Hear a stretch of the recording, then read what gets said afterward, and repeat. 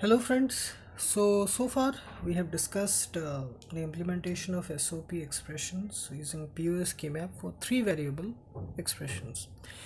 So here we'll be doing the same for four variable uh, expressions. So we have the SOP expression four variable expressed in terms of the min-term values and we have the POS map format for a four variable expression so same thing we'll map it form groups identify the common variables.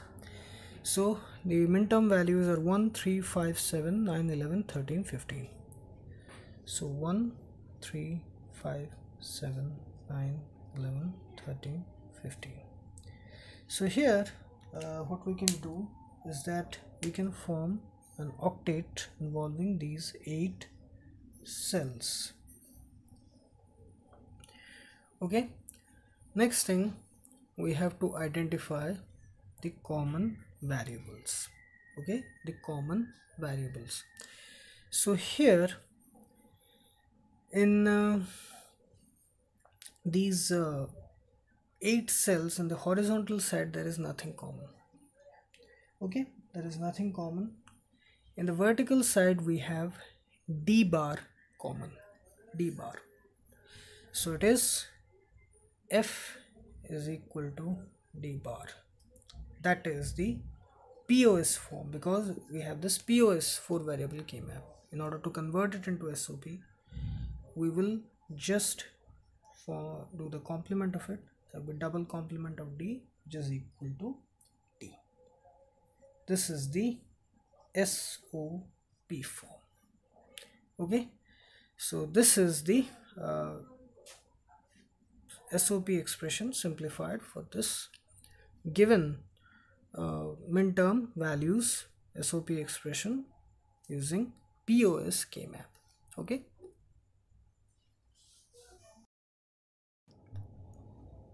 So this is the seventh question related to implementation of uh, SOP expression using POS K-map okay? So here we have uh, the min-term values given which is 1 2 3 4 5 6 7 11 13 14 we have uh, the pos k maps we'll map it. So 1 2 3 4 5 6 7 11 13 and 14 so now we'll be forming the groups okay? So sorry there is uh, another uh, min-term value which is 0 okay? Just 0 also there okay? So that will also be included here. So here as you can see there is 0 also in the min-terms so here the group formation which will do first will be this octet involving cells 0 1 3 2 4 5 7 6 then we can form a pair here okay this pair. And then again we can form a pair here. And then we can form a pair involving these two cells.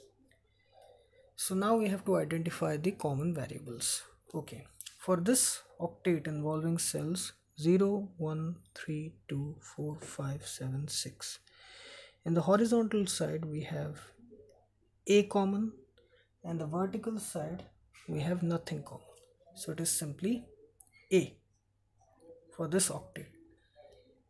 And then for this pair here, for this pair here, in the horizontal side we have B bar common and in the vertical side we have C plus D bar common plus D bar common.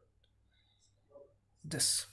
For this pair here in the horizontal side we have B bar common B bar common. In the vertical side we have C bar plus D common.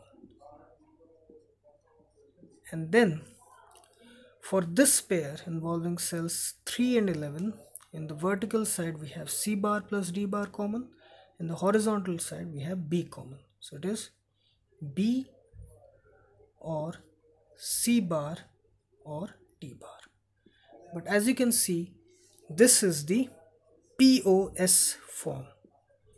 POS form. And uh, we have to convert it into SOP so we'll take the complement of it using De Morgan's theorem and we'll get the whole when we whole complement it that is like this. We'll get A bar or B C bar D or B C D bar or B bar C D. This will be the SOP form. Okay and uh, this will be the SOP form for this expression. Okay